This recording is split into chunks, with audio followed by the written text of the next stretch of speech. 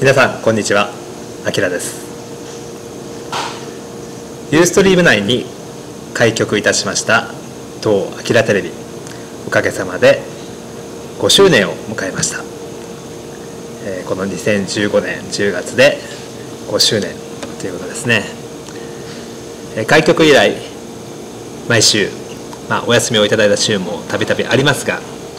えー、生放送でえ皆様にお話をさせていただきました、え、放送したほとんどの番組は YouTube の方に、え、転載しておりますのでそちらの方でご覧いただいている方も多いかとは思いますけれども、え、今日はですね5周年記念番組ということで、えこの5年間の、え集大成といいますか総集編といいますか、え私のお話ししたいこと皆様にお伝えしたいことというものを、数分間にぎゅっと凝縮してお話しさせていただきたいと思います。はい、えー、毎日生きていく上でですね、えー、いろんなストレスがありそして、えー、どんなふうに生きていこうと、え方向性もないままね、えただ単に毎日のルーティンを、えこなしていると、えまあ、生きる意味がなかなかねわからないとかね、え幸せどうやったらえ、幸せを手に入れられるんだろうというふうに、まあ、思っていらっしゃる方も多いかと思いますが、えー、人生ですね、生きていく上で、え基本となるものがあります。はい、え基本とは何かということですね、えそれはまあたびたびお話ししておりますけれどもこちらの、えー、そうですね、えー、仁義礼智信という言葉があります。これをこちらの方から順番にご説明しますと信というのは約束を守ること。知というのは道理を知っていること。道徳ですよね、はい、礼というのは礼儀のこと。それから義というのは道理にのっとった行動をとること。正義の行動をとること。利欲にとらわれず人間として正しい行動をとることということですね。それから仁っていうのは人を思いやることです。えこれらをですね、えー、磨いていく。ね、え、これらを、え、高めていく。徳を高めるということですね。えこれらのことをえ5つの徳と書いて五徳。あるいは5つの常と書いて五条というふうに言いますけれどもえ徳を高める。人の徳を高める。すなわちえ人徳を高めるというえ生き方を考え方を常に第一に持っていただきたいと思います。はい、それからですねこの仁義礼智信人徳を高めてですね行動の規範となるものそれは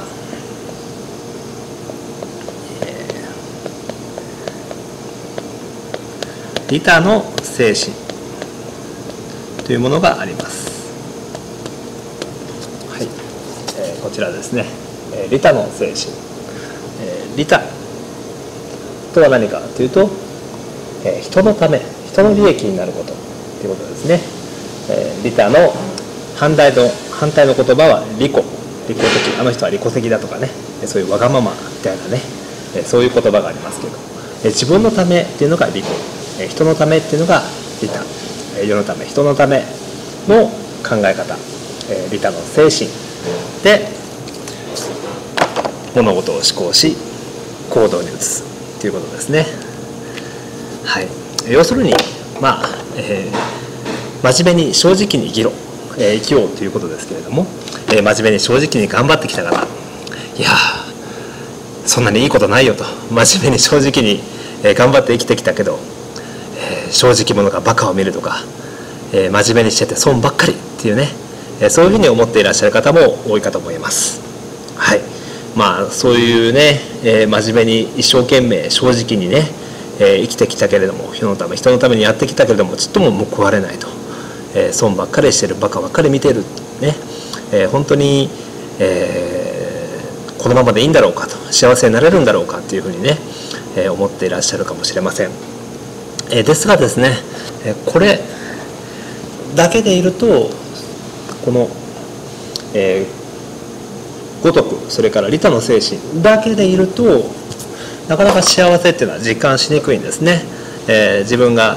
幸せであるって、え心が満たされるっていうことがね、えー、なかなか起きにくいと。この上にですねもう一つ必要なことがあります。それは何かと言いますと、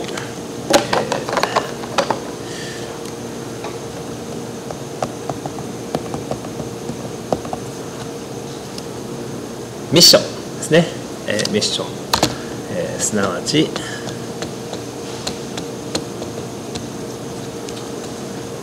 天命。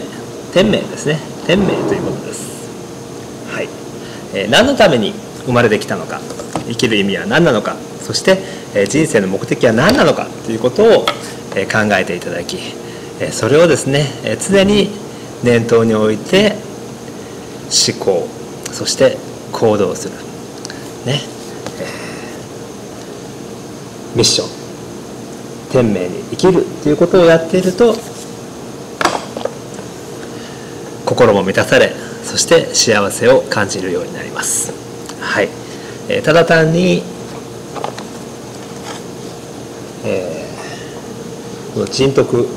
を高めてですね、えー、利他の精神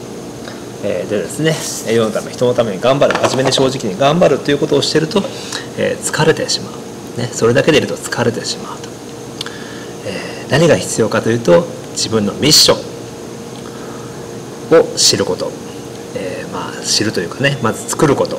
えー、そして、えー、それを天命と受け止めてですね、えー、そこに生きる。ということをやっていただきたいと思います。何のために、人は生まれてくるんだろう。生きる意味は何なんだろう。自分の人生の目的は何だろうか。ということを考えてですね、その答えを見つけて、そこに生きる。っていうことをぜひやっていただきたいと思います。はい、えー、今日はですね、えー、この人徳を